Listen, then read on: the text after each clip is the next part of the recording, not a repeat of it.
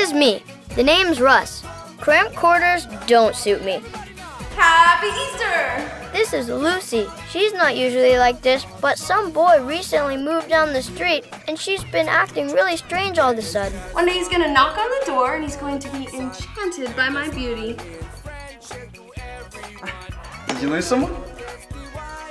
Where did you go? Uh, my house. If I'm gonna write this book, I need to immerse myself in everything Easter. My mom and I are going to a cabin this weekend to participate in this annual Easter egg hunt.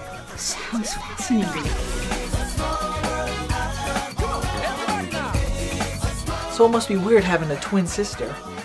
A little bit. but there is no Marion. There is now.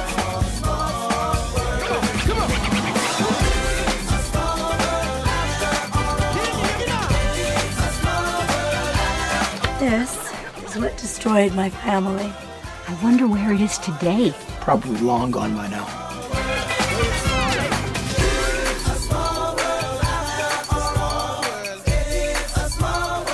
This can't be. Did you see a dog around here?